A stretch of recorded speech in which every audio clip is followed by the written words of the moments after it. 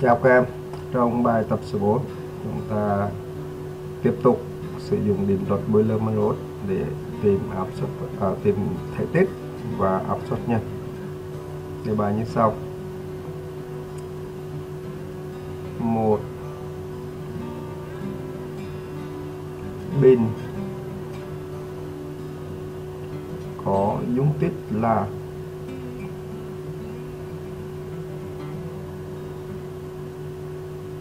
mười lít.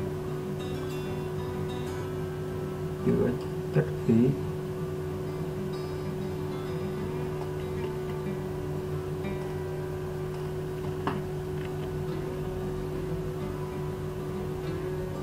Chứa chất khí. Dưới áp suất là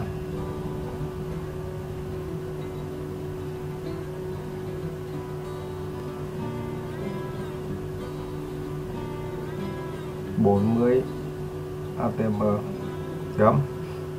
Tìm thể tích của khí.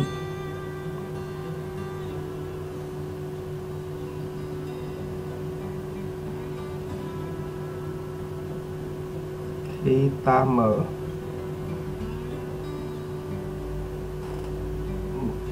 nút bình.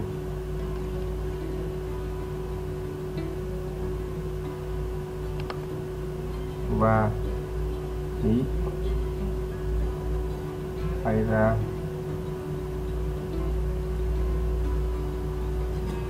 Khí quyển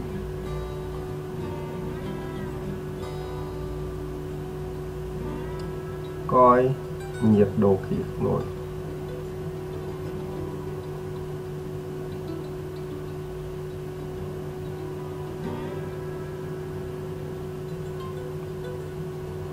Và áp suất khí quyển là P0 là 1 atm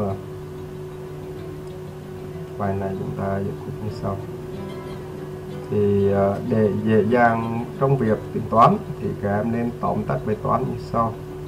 À, trạng thái 1 thì chất khí là ở đâu? Nó ở trong bình hay là ở ngoài bình? Thì chúng ta sẽ về th thời gian thì rõ ràng là ban đầu thì khí đang ở trong, trong bình trước.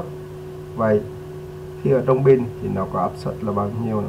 đó là áp suất 40 atmosphere rồi thể tích là 10 lít. Vậy sau đó biến đổi đẳng nhiệt là T không đổi thì qua trạng thứ hai thì nó có gì nữa? Nó có áp suất P2 là bằng P0 tức là khí này bay ra ngoài, không khí còn thể tích V2 thì chưa biết vậy từ đó, chúng ta có thể có hướng để quyết bài này rồi. Đó là thể tích khí V2 sẽ bằng P1 nhân P1 là áp suất nhân thể tích khí ban đầu, chia cho áp suất P2 thể số vàng vàng nó có là gì? M1 là 40 nhân thể tích P1 là 10 thì áp suất Ờ, khi khi ra khí quyển là một các có bằng áp suất khí quyển là bằng 400 lít. À, đó là kết quả của bài toán nha